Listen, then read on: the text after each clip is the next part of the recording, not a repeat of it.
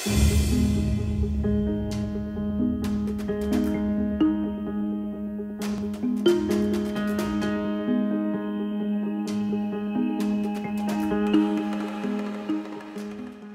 all hear about fantastic advances in technology and new discoveries and new therapeutics for cancer, and that's great. But as we stand today, you know, many countries in the developing world barely have basic treatment. Everybody has the right to have the best chance for a cure for cancer, and it should not be an accident of geography.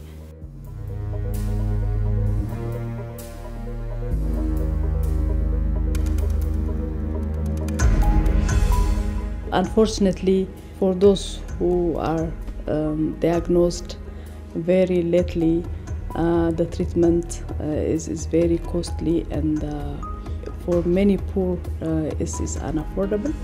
Uh, if the governments, if the donor community, if the international organizations who are dealing with cancer diseases, if they cooperate, if they work together, they can help the, the cancer patients.